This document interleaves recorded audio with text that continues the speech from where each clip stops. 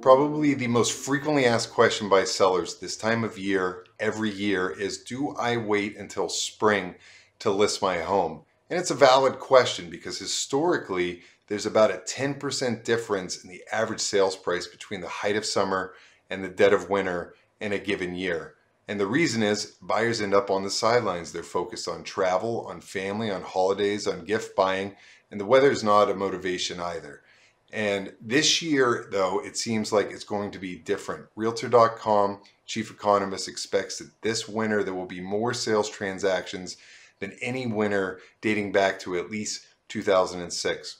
The reason is buyers are still looking for homes. Their financials look better than ever, and they have continued to miss out on the homes they like. They've not yet gotten their offer accepted on the home that they love, and they're not going to wait until spring. So if you're a seller, I don't think that there's any big risk in waiting until spring, but if it's going to help you to start your timelines now and sell this winter, you will probably still get an all time high price. And one other thing to consider is that interest rates on mortgages are expected to go up.